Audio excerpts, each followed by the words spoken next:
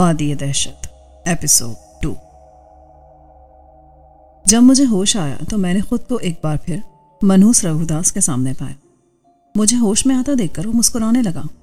और सुनाओ मियाँ जी, क्या हाल है? उम्मीद है अब तुम्हारी तबीयत साफ़ हो चुकी होगी।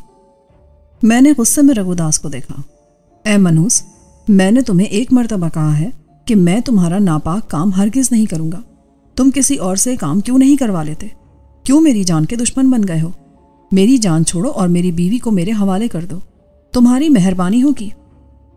रघुदास ज़ोर ज़ोर से कह कह लगाने लगा। अरे ओ पापी, लगता है अभी तक तेरे होश ठिकाने नहीं लगे। तू अपने आप को बड़ा पारसा समझ रहा था। तेरे अंदर अब गंदा खून चला गया है और तूने नापाक फेल भी सरंजाम दे दिया है। अब तू पूरी तरह पलीद हो गया है। अब तो किसी मुकद्दस जगह पर नहीं जा सकता। जा, दफ़ा हो जा। तू भी पलीद हो गया। जा चला जा अचानक रघुदास का जिसम मुकम्मल धुएँ में छुप गया और वो गायब हो गया। उसके साथ ही मंजर बदल गया। अब मैंने इर्द गिर्द का जायजा लिया तो खुद को बड़े बड़े अहरामों के नज़दीक पाया। तो क्या मैं हिंदुस्तान से निकलकर मिस्र पहुँच चुका हूँ? मैं तहैर असरार की सरजमीन हिंदुस्तान से निकलकर पुरस्रारियत और मावराइत की सरजमीन में पहुँच चुका था। मैं हैरत में डूबकर आगे बढ़ने लगा। अचानक मुझे यूँ लगा जैसे किसी ने मेरे कंधे पर हाथ रखा हो। मैंने पीछे मुड़कर देखा। एक हड्डियों का ढांचा, जिसकी खोपड़ी उसके कंधों पर नहीं थी, बल्कि उस खोपड़ी को उसने अपने इस्तखवानी हाथ में थाम रखा था। चले जाओ यहाँ से। चले जाओ, वरना मार दिए जाओगे। एक ढांचे को यूँ बोलते देखकर मेरी हालत इंतहाई गैर होने लगी। खौफ दहशत से मेरा चेहरा सुर्ख हो गया। मैंने दिल में सोचा, हसन शाह, हिम्मत से काम लो। तुम तो कब से तिलिस्मात की दुनिया में फंसे हुए हो। हर चीज़ का हिम्मत से मुकाबला करो। यह सोचकर मेरे दिल को तसल्ली हुई कि कुदरत ने अभी मेरी ज़िंदगी लिखी है। अगर इन जादूगरों और बदरूहों के हाथों मौत आनी होती तो कब की आ चुकी होती? मैंने ज़ोर से कहा, तुम मेरा कुछ नहीं बिगाड़ सकते। अगर तुम जैसे शैतानी टोलों के हाथों मेरी मौत लिखी होती तो मैं कब का मरखप चुका होता। मैं एक घूसा मारकर तुम्हारा पिंजर तोड़ सकता हूँ। ढांचे की खोपड़ी से आवाज़ निकली। आम आदमी किसी ढांचे को यूँ बोलते देखकर खौफो दहशत से फ़ौरन मर जाता।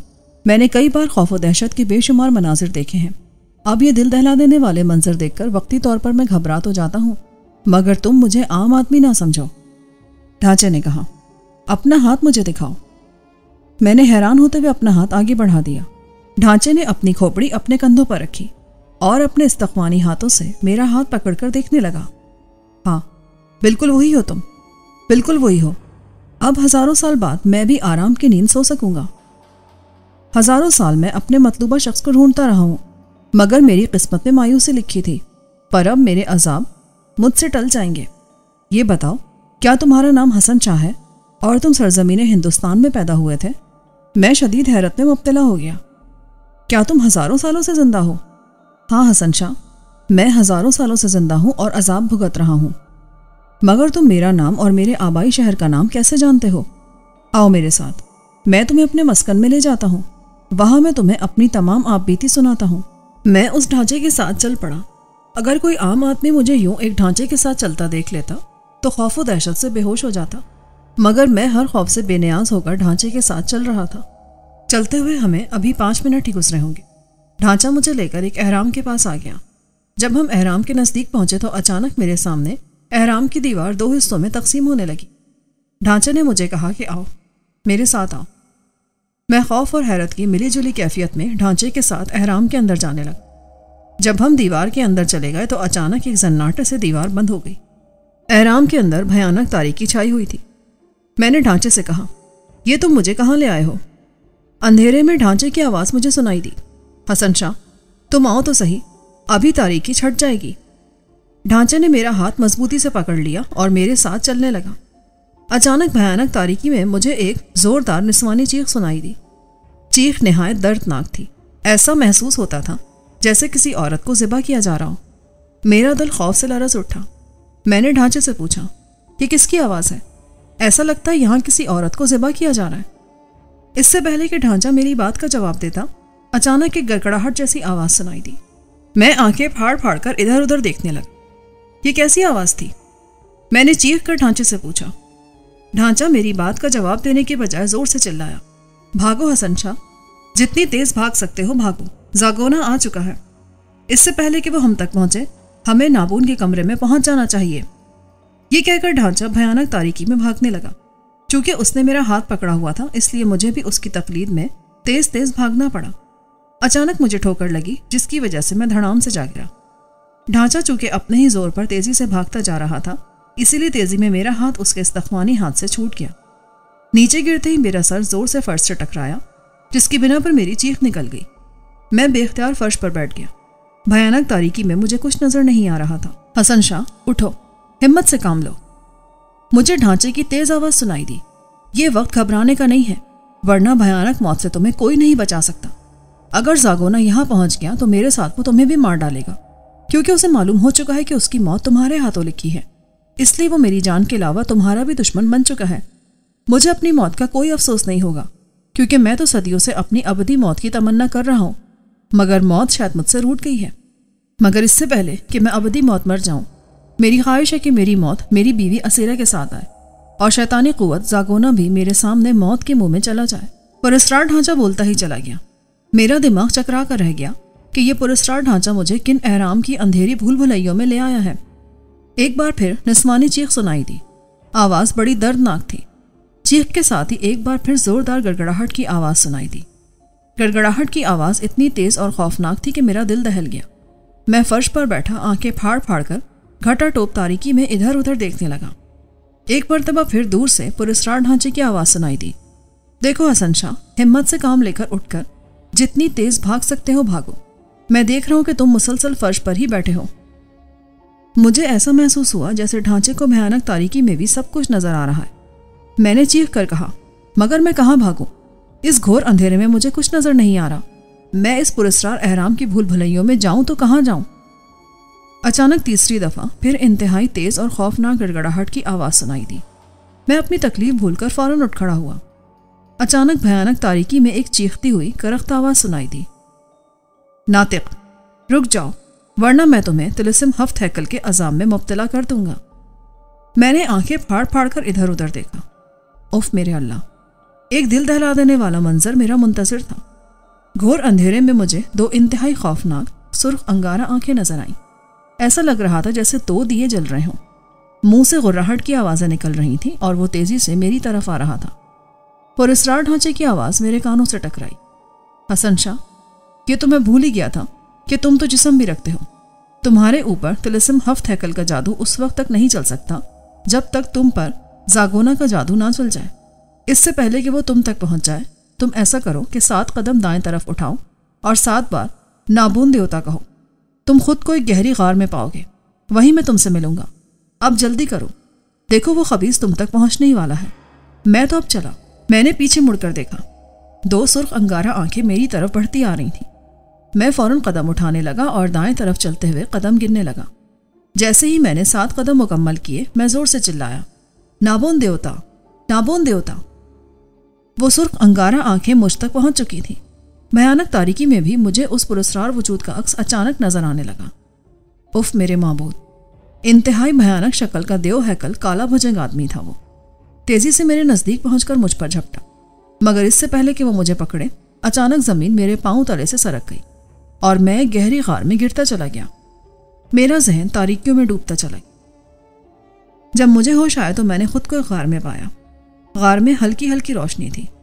मैं अभी गार का जायजा ले ही रहा था कि दोबारा मुझे उसी पुरस्कार ढांचे की आवाज़ सुनाई दी। गार में सीधा बढ़ते चलो। तुम मुझ तक पहुँच जाओगे। मैं ज़ोर से चिल्लाया, या अल्लाह, ये मैं किस अजाब में फंस गया हूँ? इससे बेहतर है कि तू मुझे मौत दे दे। ये तुम क्या कह रहे हो, संशा? अभी तो तुमने बहुत से काम निपटाने हैं। अभी तो तुमने अपने जिसम से गंदा खून निकालना है और अपना जिसम पाक करना है। और तुमने अपने हरीफ शैतान के पुजारी, रघुदास से अपने वालदेन का बदला लेना है। और वादी दहशत, जो खौफ दहशत और तलस्मात की वादी कहलाती है, वहाँ से अपनी बीवी नताशा को भी लेने जाना है। पुरस्कार ढांचे की मुझे आवाज़ सुनाई दी। मैं चौंक पड़ा। रघुदास का नाम सुनते ही मेरा खून खोल उठा। मुझे रघुदास के मनहूस अल्फाज याद आ गए कि तुम अब नापाक हो चुके हो। पलीद हो चुके हो। तुम अपनी किसी मुकदस जगह पर नहीं जा सकते। मैं ज़ोर से चिल्लाया ए मनहूस रघुदास, तुमसे तो मैं ऐसा बदला लूँगा कि तुम्हारी रूह तक बिलबिला उठेगी। फिर मैं गार में चलने लगा। ये एक इंतहाई लंबा गार था। चलते चलते मेरी टांगे शल होने लगी। अचानक गार के आखिर में मुझे सात दरवाजे नज़र आए। यही गालिबन गार का अख्ताम था। अभी मैं इन अजीबो गरीब सात दरवाज़ों को देख ही रहा था कि मुझे पुरस्कार ढांचे की आवाज़ सुनाई दी। हसन शाह, सुरख रंग का जो दरवाज़ा है, उस दरवाजे को खोलकर अंदर चले आओ। मैं तुम्हारा मुंतजर हूँ। मैंने दरवाज़ों को देखा। हर दरवाजे का मुख्तलिफ़ रंग था और गालिबा सातवें दरवाजे का रंग सुर्ख था। मैं आगे बढ़ा और सुर्ख दरवाजे को खोलने लगा। एक चरचराहट के साथ दरवाज़ा खुल गया। अंदर भयानक तारीखी थी। मैं बेधड़क अंदर घुस गया। अंदर जाते ही दरवाज़ा बंद होने की आवाज़ आई। मैं अंधेरे में चिल्लाया। ये मैं कहाँ आ गया हूँ? और तुम कहाँ हो? इस भयानक तारीख में मुझे कुछ नज़र नहीं आ रहा। ढांचे की आवाज़ सुनाई दी। हसन शाह, तुम आँखें बंद करके सात दफ़ा नाबियों देवता को पुकारो। तुम्हें सब कुछ नज़र आने लगेगा। मैंने ढांचे के कहने के मुताबिक आँखें बंद करके ऐसा ही किया। जब मैंने आँखें खोली तो मैं हैरत से उछल पड़ा। मैंने खुद को एक इंतहाई शानदार कमरे में पाया। कमरे में खूबसूरत पलंग बिछा था। दीवारों पर खूबसूरत तस्वीरें बनी थी। जो मिस्री मुसवरी का नमूना पेश कर रही थी। दरवाजों पर अतलस कम खाब के पर्दे लटके थे। कमरे के एक तरफ़ दीवार पर ताकचा बना था, जिस पर सात खूबसूरत मशलें जल रही थी। उनकी रोशनी से कमरा रोशन था। पलंग के नज़दीक सात इंतहाई खूबसूरत कुर्सियाँ रखी थीं, जो सोने से मुरस्सा थीं। पलंग पर वही पुरस्कार ढांचा बैठा था। मैंने ढांचे की तरफ़ देखा। ये मैं कहाँ पहुँच गया हूँ? बैठो हसन शाह। मैं तुम्हें सब कुछ सुनाकर तुम्हारी परेशानी खत्म कर दूँगा। मैं उन सात कुर्सियों में से एक पर बैठ गया। अब मैं तुम्हें अपनी तमाम दास्तान सुनाता हूँ कि मैं कौन हूँ और ढांचे के रूप में कैसे ज़िंदा हूँ। सबसे पहले तो मैं तुम्हें यह बता दूँ कि मेरा नाम नातिक है। ये आज से तीन हज़ार सात सौ साल पुरानी दास्तान है। मेरा बड़ा भाई अखनातून, जो उम्र में मुझसे सात साल बड़ा था, उस वक्त मिस्र का फिरौन था। उस वक्त मिस्र में जो बादशाह बनता, उसे फिरौन कहा जाता था। मैं बहुत सैलानी आदमी था। यानी मुझे सैर सयाहत का बहुत शौक था। मैं अक्सर सैर सयाहत और शिकार की गर्ज से दूर दूर जाता था। इसी तरह एक दिन मैं मौजूदा वक्त के फिरौन, अखनातून, यानी अपने बड़े भाई से इजाज़त लेकर शिकार की गर्ज से निकल पड़ा। मेरे दोस्तों का दस्ता मेरे साथ था। हम शिकार की गर्ज से उस दफ़ा दूर दराज निकल आए थे। एक नए जंगल की तरफ़ आए। जंगल बहुत अजीब गरीब था। शाम हो रही थी, इसलिए हमने एक जगह पड़ाव डाल दिया और मेरा खैमा नसब कर दिया गया। अब मैं खैमे में जाने की तैयारी कर ही रहा था कि अचानक मेरी नज़र एक हिरन पर पड़ी। ये हिरन इंतहाई खूबसूरत था। मैं फ़ौरन अपने घोड़े पर बैठा और उस खूबसूरत हिरन का पीछा करने लगा। मेरा इरादा उस हिरन को ज़िंदा पकड़ने का था। मैं अपने घोड़े पर बैठा हिरन के नज़दीक पहुंचकर उस पर कमंड डाली, मगर हिरन उस फंदे से निकल गया। मेरे दोस्त भी मेरी तकलीद में मेरे पीछे चले आ रहे थे और मुझे आवाज़ें दे रहे थे, मगर मुझ पर उस हिरन को पकड़ने का जुनून सवार था। मेरा घोड़ा चूँकि आला नस्ल का था और बहुत फुर्तीला और ताकतवर था, इसीलिए वो उस हिरन का बराबर पीछा कर रहा था। अचानक हिरन मेरी नज़रों से उझल हो गया। अब जब मैंने गौर किया तो मैंने देखा कि मैं रास्ता भटक कर बहुत दूर निकल आया हूँ और अपने साथियों से बिछड़ गया हूँ। दरख्त रात को आसेब की तरह दिखाई दे रहे थे। मैं घबराया हुआ इधर उधर दौड़ रहा था। अचानक मुझे खूबसूरत मकान नज़र आया। मैं बहुत हैरान हुआ। कि सुनसान जंगल में ये किसका इतना खूबसूरत मकान है? मकान के अंदर रोशनी हो रही थी। मैं बेधड़क उस मकान की तरफ़ बढ़ने लगा। मैंने अपने घोड़े का रुख उसी तरफ़ मोड़ दिया। मेरा घोड़ा शायद मेरा इरादा समझ चुका था। वो उसी मकान की तरफ़ बढ़ने लगा। अचानक मेरे जहन में ख्याल उभरा कि, नातिक, निकल जाओ यहाँ से, वरना किसी मुश्किल में फंस जाओगे। काश मैं उस मनहूस हिरन का पीछा ना करता और ना ही उस मनहूस मकान में दाखिल होता। उस मकान में दाखिल होने के बाद मुझे वो अजाब मिला जो मैं आज तक भुगत रहा हूँ। जब मैं उस घर में दाखिल हुआ तो मैंने उस हिरन को उसी मकान में पाया। मैं बहुत हैरान था कि इस जंगल में किसका घर है, और ये हिरन यहाँ किस तरह पहुँच गया। अभी मैं हिरन को देख ही रहा था कि अचानक मुझे एक निस्वानी आवाज़ सुनाई दी। खुशामदीद मुसाफिर। मैंने देखा कि एक इंतहाई खूबसूरत लड़की खरामा खराबा मेरी तरफ़ बढ़ रही है। मैंने गौर से उस लड़की की तरफ़ देखा। वो वाकई बहुत खूबसूरत थी। मैंने कहा, मैं मुल्क मिस्र का शहजादा नातिक हूँ। और इस जंगल में शिकार की गर्ज से आया था। तुम्हारे इस हिरन की तलाश ने मुझे यहाँ तक पहुँचा दिया है। मैं हैरान हूँ कि इस वीरान जंगल में यह मकान किसका है। और तुम्हारे इस हिरन के अलावा मुझे और कोई जानवर या परिंदा नज़र नहीं आया। तुम कौन हो? और इस वीरान जंगल में कैसे रहती हो? लड़की ने मेरी तरफ़ देखते हुए कहा, अजनबी, तुमने आते ही सवालों की बौछाड़ कर दी। मैं तुम्हें सारे सवालों का जवाब दूँगी। मगर तुम अंदर तो चलो और अपने घोड़े को यहीं छोड़ दो। ये कहीं नहीं जाएगा। मैंने घोड़े को छोड़ दिया और कमरे की तरफ़ पढ़ने लगा। मैंने दरवाजे की तरफ़ देखा तो बहुत हैरान हुआ, क्योंकि दरवाज़ा बंद था। मैंने लड़की से पूछा, ये दरवाज़ा किसने बंद किया है? मुझे इस घर में तुम्हारे सिवा कोई और नज़र नहीं आ रहा। फिर ये दरवाज़ा कैसे बंद हो गया? पुरस्टार लड़की मेरी तरफ़ देखकर मुस्कुराई। अजनबी, तुम अंदर चलो। तुम्हें सब कुछ मालूम हो जाएगा। मैं लड़की के साथ कमरे में दाखिल हो गया। कमरे में दीवार पर मशलें जल रही थी। यहीं से मेरे साथ सात का तिलस्म शुरू हो चुका था। मैंने कमरे का जायजा लिया। कमरे में सात कुर्सियाँ रखी थीं। साथ ही एक खूबसूरत तख्त पड़ा था, जिसमें सात खूबसूरत याकूत जड़े थे। मैंने मशलों को देखा। उनकी तादाद भी सात थी।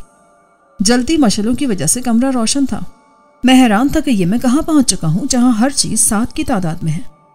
लड़की ने मुझे बैठने का इशारा किया। मैं कुर्सी पर बैठ गया। पुरस्कार लड़की भी मेरे साथ वाली कुर्सी पर बैठ गई। और दिलबराना अंदाज से मुस्कुराने लगी। मैंने पूछा, तुम कौन हो? और इस वीरान जंगल में यह मकान तुमने क्यों बनवाया है? क्या ये हिरन तुम्हारा है? मेरा नाम नाबीरा है, और मैं इस जंगल में जादू सीखने आई हूँ। ये मकान मैंने इसलिए जंगल में बनवाया है कि यहाँ मैं अपना अमल यकसोई से कर सकूँ। बाहर जो हिरन खड़ा है, ये मेरा सुधाया हुआ है। मेरे अहकाम के मुताबिक ये काम करता है, और मेरे ही कहने पर यह तुमको यहाँ तक ले आया। मैं सख्त हैरान हुआ। मगर तुमने अपने हिरण के ज़रिए मुझे यहाँ क्यों बुलवाया? देखो शहजादे, तुम इतना लंबा सफ़र करके आए हो। मैं तुम्हारे लिए कुछ लेकर आती हूँ। ये कहकर नाबीरा उठी और कमरे से बाहर निकल गई। मैं सख्त हैरान और परेशान था कि ये पुरस्कार लड़की मुझसे क्या काम लेना चाहती है। फिर मुझे अपने साथियों का ख्याल आया कि वो मेरी वजह से सख्त परेशान होंगे और मुझे ढूंढ रहे होंगे। मैं अपनी सोचों में गुम था कि नाबीरा कमरे में दाखिल हुई। उसके हाथ में काप थी जिसमें फल रखे थे। उसने वो मेरे सामने रख दिए। शहजादे, इन्हें खा लो। तुम मुझ पर ये सब इनायत क्यों कर रही हो? आखिर वजह क्या है? तुम कुछ खा लो। फिर मैं तुम्हें बताऊँगी कि मैं अपने सातवें और आखिरी मेहमान की खातिर तवाज़ो क्यों कर रही हूँ। मैं चौंक पड़ा। क्या मतलब है तुम्हारा? ये सातवें और आखिरी मेहमान से तुम्हारी क्या मुराद है? नाबीरा फ़ौरन बोली, मेरे कहने का मतलब यह कि पहले भी छह मुसाफिर यहाँ भटकते हुए इस जंगल में आए थे। और वो सब के सब मुसाफिर किसी न किसी मुल्क के शहजादे ही थे, जिस तरह तुम हो। मैंने उनकी भी खातिर तवाज़ो की थी। और सातवें और आखिरी मेहमान से मेरा मतलब यह है कि कल मैं यहाँ से चली जाऊँगी। वो इसलिए कि मेरा मकसद पूरा हो जाएगा। इसलिए तुम्हें अपना सातवां शिकार। मेरा मतलब है कि आखिरी मेहमान कहाँ है? शिकार के नाम पर मैं चौंका मेरे जहन में खतरे की घंटियाँ बजने लगी, मगर उस वक्त मुझे शिद्दत की भूख लगी हुई थी। इसीलिए मैं बगैर कुछ सोचे समझे फलों पर टूट पड़ा। जब मैंने फल खा लिए तो नाबीरा, जो जादू सीखने के लिए यहाँ जंगल में आई थी, मेरी तरफ़ देखकर मुस्कुराने लगी। शहजादे, अब तुम आराम करो। तुमसे फिर मुलाकात होगी।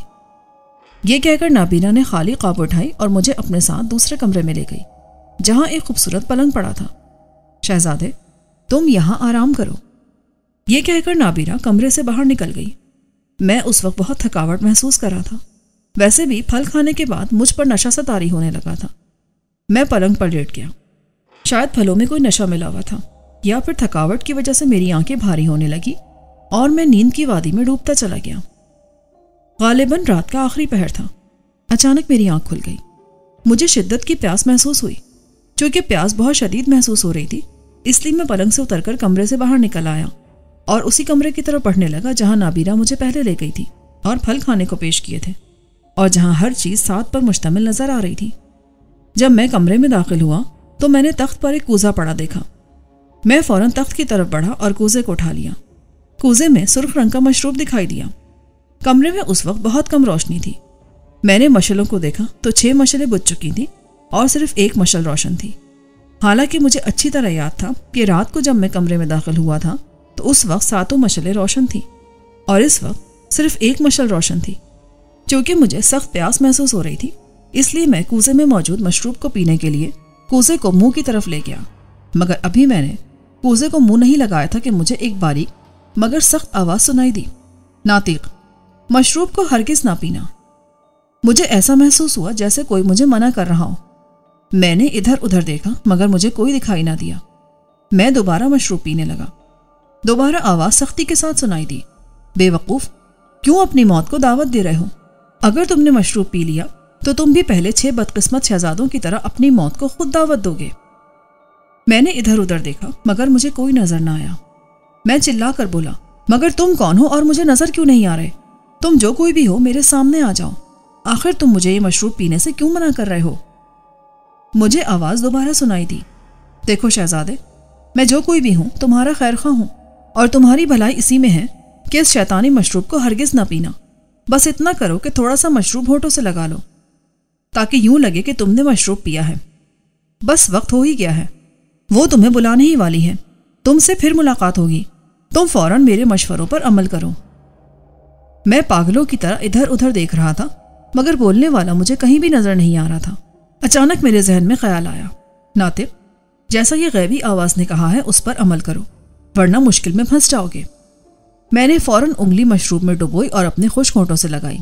उसके बाद मैं कमरे से बाहर निकला और उस पुरस्कार मकान के सहन में आ गया। रात का वक्त था, मगर चाँद आसमान से गायब था। गालिबन अमावस की रात थी। मैंने गौर से देखा, मेरा घोड़ा सहन में एक जगह सो रहा था। मैंने मकान का दरवाज़ा खोला और मशरूब को बाहर फेंक दिया। रात के वक्त जंगल बड़ा पुरस्कार लग रहा था। मैं दरवाजे पर खड़ा जंगल को देख रहा था। जंगल में घने दरख्तों के नीचे घटाटोप अंधेरा था। अचानक उस अजीबो गरीब जंगल में एक भयानक मंजर मुझे नज़र आया।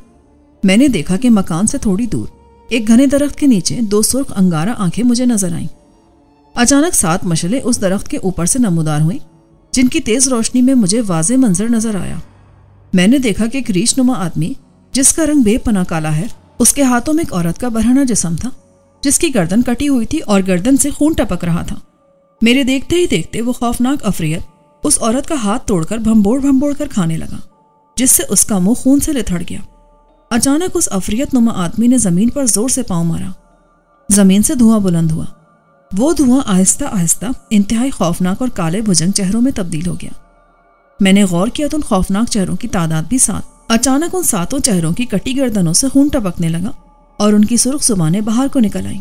वो सब भयानक आवाज़ में कह कह लगाने लगे। मैं आँखें फाड़े उस दहशतनाक मंजर को देख रहा था। मेरे मुँह से जोरदार चीख निकली। मैंने फ़ौरन दरवाज़ा बंद किया और भागता हुआ कमरे में आ गया। खाली कूसा अभी तक मेरे हाथ में था। मैंने कूसा तख्त पर रख दिया।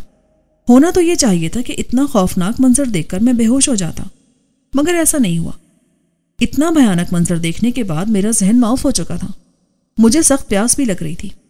जब से मैं इस पुरस्कार और मनहूस मकान में दाखिल हुआ था, उसके बाद से मेरे साथ पैदर पे हैरत अंगेज वाकयात रोनुमा होने शुरू हो गए थे। उस पुरस्कार मकान में, जो पुरस्कार और खौफनाक मनाजर अभी थोड़ी देर पहले मैंने देखे थे, उनकी दहशत अभी तक मेरे आसाब पर सवार थी। अचानक एक जोरदार गड़गड़ाहट की आवाज़ सुनाई दी।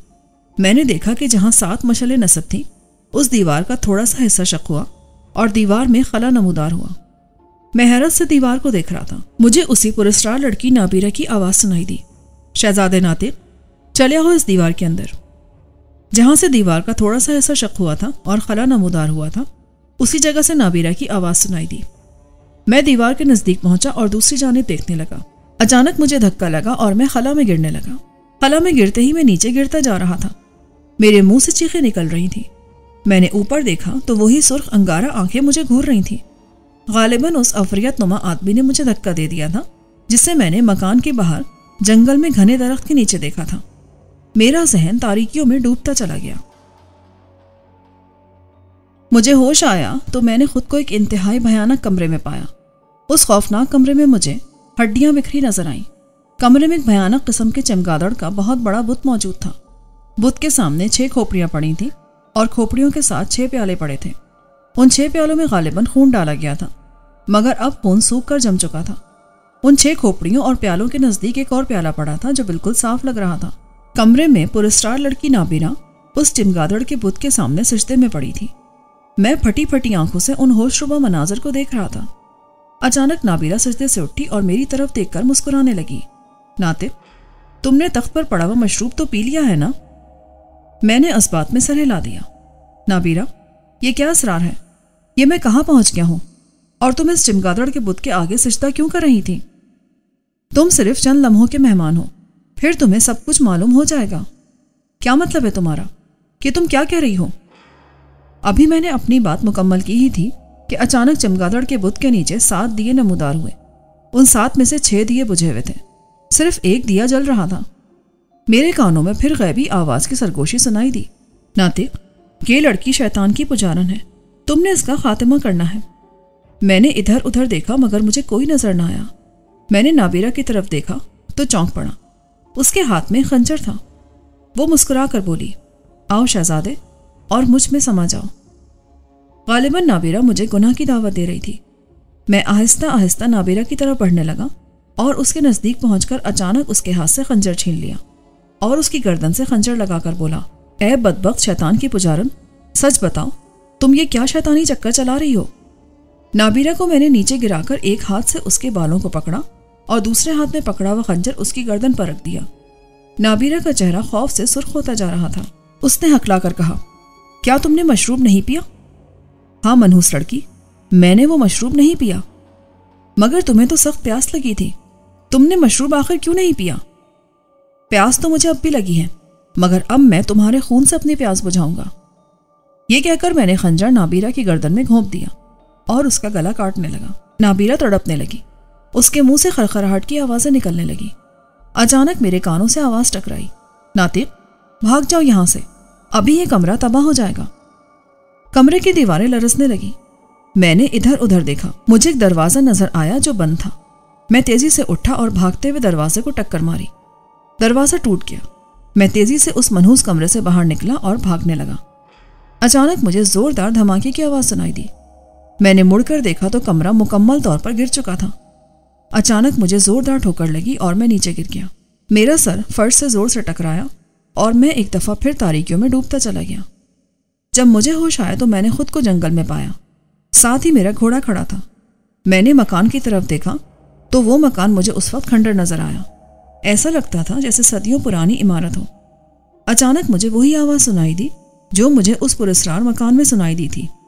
नातिक तुमने जागोना और उसकी बहन का तिलस्म तोड़ दिया, और नाबीरा को मारकर तुमने दोनों शैतान के चेलों का सारा मंसूबा हाक में मिला दिया। मगर अभी तुम्हें जागोना का भी खात्मा करना है। वो तुम्हारा दुश्मन बन चुका है। इसलिए कि तुमने जागोना की बहन को मारकर जागोना की तमाम काली ताकतों को मलियामेट कर दिया है। तुम कौन हो और मुझ पर इतनी मेहरबानी क्यों की है? मैं तुमसे मिलना चाहता हूँ। अच्छा ठीक है। अगर तुम मुझसे मिलना चाहते हो तो आँखें बंद करके सात मरतबा नाबून देवता पुकारो। तुम मुझ तक पहुँच जाओगे। मैंने ऐसा ही किया और आँखें बंद करके सात दफ़ा नाबून देवता पुकारा। फिर मैंने आँखें खोल दी। आँखें खोलते मैं हैरत से उछल पड़ा। मैंने खुद को एक कमरे में पाया, जिसमें खूबसूरत पलंग मौजूद था। दीवार पर सात मशलें रोशन थीं। कमरे की दीवारों पर खूबसूरत तस्वीरें बनी थीं। पलंग के साथ चंद कुर्सियाँ मौजूद थीं। मैंने उनकी तादाद गिनी तो वो सात थी। मैं हैरान था कि ये मुझे हर जगह सात चीज़ें ही क्यों नज़र आ रही हैं। मैं तो सात के चक्कर में फंस कर रह गया था। पलंग पर एक बूढ़ा बैठा था जिसकी सफ़ेद दाढ़ी बहुत बड़ी थी। बूढ़ा मेरी तरफ़ देखकर बोला नातिक बैठ जाओ। मैं तुम्हें तमाम बातें बताता हूँ। मैं चौंक पड़ा। ये तो वही आवाज़ थी जो मुझे पुरस्कार मकान में दो दफ़ा और मकान से बाहर भी सुनाई दी थी। मैं कुर्सी पर बैठ गया। आप कौन हैं? और ये मैं पलक झपकते में कहाँ पहुँच गया हूँ? मैं तुम्हें तमाम हालात बताता हूँ, शहजादे। बात दरअसल यह है कि शैतान के पास बेपना काली ताकतें हैं, जिनकी बिना पर वो लोगों को गुमराह करता है। नाबिरा और जागोना दोनों बहन भाई शैतान के पुजारी हैं। रात को तुमने जो मंजर मकान से बाहर देखा, कि खौफनाक अफरियत नुमा आदमी एक औरत का बाजू तोड़कर खा रहा था, वो जागोना है और शैतान का पुजारी है। वो इंसानी खून और गोश्त का रसिया है। और तुम्हें जो सात खौफनाक, कटी हुई गर्दनें नज़र आई थी, वो जागोना की जादुई ताकतें हैं। ये शैतान ने उसे इनाम में दी थी, क्योंकि जागोना शैतान के तमाम अहकाम पर अमल करता है और ख़ास पुजारी है। जागोना की बहन नाबीरा, काला इल्म सीखने के लिए एक अमल कर रही थी। उस अमल के लिए शर्त यह है कि सात शहजादों का कत्ल हर माह अमावस की रात, यानी वो रात जब चाँद बिल्कुल गायब होता है, को किया जाए। नाबीरा ने काली ताकतों के उसूल के लिए छह शहजादों का तो खून कर दिया, मगर आखिरी शहजादे, यानी तुम्हारा खून करने से पहले ही वो मार दी गई। ये कहकर बूढ़ा चुप हो गया। मगर आप कौन हैं? आपने मेरी मदद क्यों की? मैं नाबोन देवता का नायब हूँ। नाबोन देवता अमन और मोहब्बत के देवता थे। उन्होंने अपनी ज़िंदगी के आखिरी लम्हात तक काली ताकतों का मुकाबला किया। मरने से पहले उन्होंने मुझे कुछ पुरस्कार उलूम सिखाए थे और कहा था कि मेरे मरने के बाद तुमने काली ताकतों का मुकाबला करना है। उनके मरने के बाद मैं भी शैतान और उसके चेलों के खिलाफ नबरद आजमा हूँ। मगर मुझे समझ नहीं आता कि साथ का चक्कर क्या है। मैं तो इस मनहूस मकान में, साथ ही के चक्कर में फंस गया था। बेटा, बस इतना जान लो कि साथ का हिंसा बहुत ही अहम अदद है। नेकी और बदी दोनों में साथ यकसा मकबूलियत रखता है। तुम्हें जो चमगादड़ के बुत के सामने सात प्याले नज़र आए थे, जिनमें छह प्याले खून आलूद थे और एक प्याला साफ़ था, दरअसल उन प्यालों में उन छह बदकिस्मत शहजादों का खून डाला गया था। और आखिरी प्याले में तुम्हारा खून डाला जाना था। मगर ये नाबीरा की बदकिस्मती है कि वो अपने तागूती अमल की कामयाबी के आखिरी मराहल में तुम्हारे हाथों मारी गई और तुम्हें जो सात दिए नज़र आए थे, जिनमें से छह बुझे हुए थे और सिर्फ़ एक जल रहा था, वो दरअसल शैतानी दिए थे। तुम्हारा खून करके उस वाहिद जलते हुए दिए पर डाला जाता, जिससे मुकम्मल तारीखी छा जाती और भयानक तारीकी में शैतान चमगादड़ के बुत में नमूदार होकर नाबीरा से खून का सातवां प्याला वसूल करके उसे अपनी खास पुजारन बना लेता और फिर उसे बेशुमार काली ताकतें दे देता। चूँकि सातवां दिया बुझते ही मुकम्मल तारीखी छा जाती, जिसकी बिना पर शैतान नाबीरा को काली ताकतें अता करता, क्योंकि तारीकी और अंधेरों वाली जगह शैतान की पसंदीदा जगह होती हैं। शैतान और उसके पुजारी चेले वगैरह रोशनी वाली जगहों से दूर भागते हैं और अंधेरों को उमूमन पसंद करते हैं। खासकर शैतान के पुजारी जब भी शैतानी अमल करते हैं तो उमूमन अमावस की रातों और मुकम्मल अंधेरे और तारीकी वाली जगहों पर करते हैं। मैं आपका शुक्रगुजार हूँ कि आपने मेरी मदद की। अब आप मुझे बताएँ कि मैं क्या करूँ? बूढ़े ने कहा, बेटा, चूँकि जागोना की बहन नाबीरा तुम्हारे हाथों मारी गई है, इसीलिए जागोना अपनी बहन की मौत पर शदीद गम गुस्से में है और तुम्हारा दुश्मन बन चुका है। जब तुम इस मुकदस कमरे से बाहर निकलोगे तो वो तुमसे अपनी बहन का इंतकाम लेने की पूरी कोशिश करेगा। मेरा ख्याल है वो तुम्हें तिलस्म हफ्त हैकल के अजाब में मुबतला करने का इरादा रखता है।